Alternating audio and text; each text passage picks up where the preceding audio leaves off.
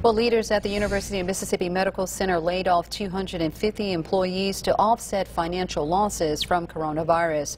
Now, the hospital told WAPT in Jackson it is currently projecting more uh, more than a $100 million deficit through September. Now, the layoffs are only one step the hospital is taking.